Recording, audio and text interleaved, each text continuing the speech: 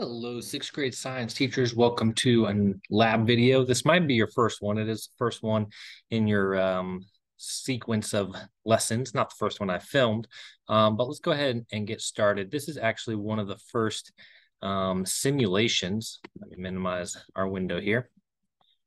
Sorry, here we go. So when we're in our curriculum map, you'll see that the first lab listed, activity eight. Anytime that you have an activity or lab that doesn't have the highlighted, this requires advanced preparation, is probably a simulation.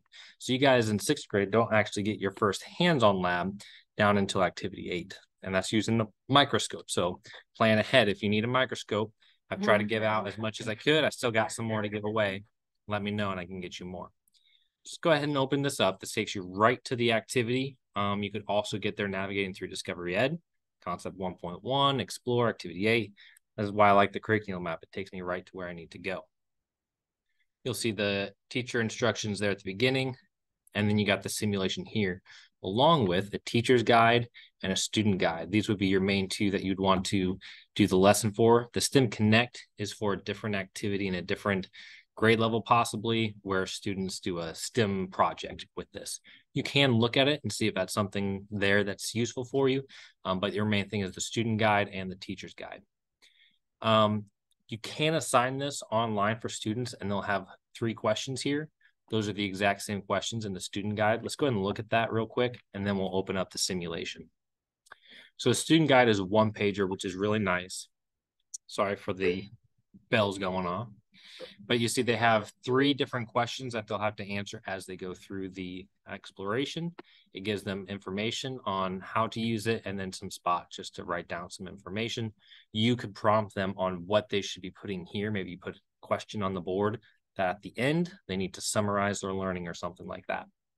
I kind of like this lab because you could do this as either assigning it for students to do on their own at the end of the day everyone's doing it together, or you just have it on the board and as a class, they're going to help you piece it together and you can kind of facilitate that learning all as a class.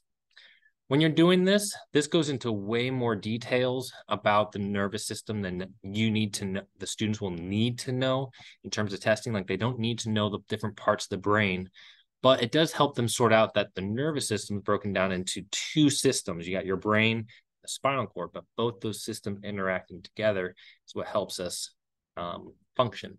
So you can still bring in that conversation of systems and connection. So uh, all this lab does is you grab these guys and you are dragging them into the correct part of the brain. Um, so when you get it correct, it gives you a good job, re-highlights, hey, this goes to this part of the brain, and then it gives you a little bit of information about uh, that part of the brain. And so it's useful for look at this is sight, touch, taste, smell. Now I have a bit more information to help with the other ones, but also I'm learning. Again, this is going to way more detail than the students really need, but if we're teaching above what they need, that's okay. Some students will remember these things um, and they're going to have a better grasp of things. So speaking, that fell into that as well. Um, so anything where it's like your senses or voluntary, um, things like that. I think hearing would be the last one. Oh, wrong spot up here. It does correct you as you saw, um, or I put in the wrong spot. It just says that's incorrect, kicks it back. So it doesn't really punish students for getting any of these things wrong. Let's see here. I believe that goes there. So what's really nice is as students are learning and completing this, sorry, that goes here. Um, then it finalizes all that learning with a nice little summary. Let's finish this up. So they've done the different parts of the brain. Okay, now you've uncovered this like little video.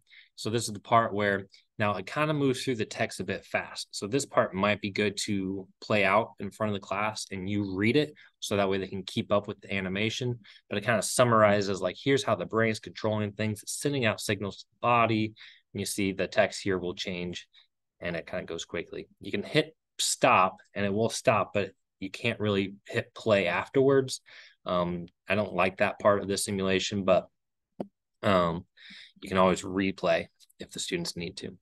And so it kind of summarizes learning. So again, how you implement this in your classroom. Could be as a whole class, individual.